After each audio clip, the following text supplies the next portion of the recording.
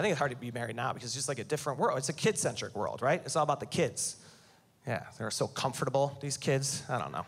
Just hanging out in their dry fit.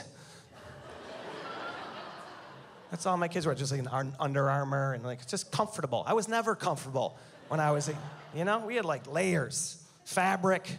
I'm looking at pictures. I'm at my sister's birthday in like a three piece suit, just pocket watch, top hat. You guys need my cane for the pinata? Let me know. That's how I punish our kids now.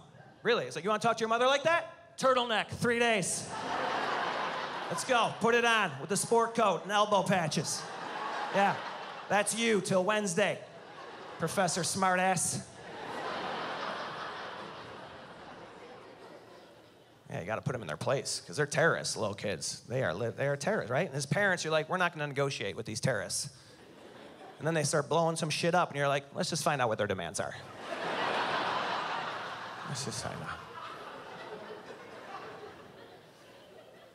We got three, which is not even a lot, you know? My wife texted me the other day, like, sometimes I think we should have four. I was like, sometimes I think we should have two. I didn't say which ones, though. I'm not a monster. I didn't say.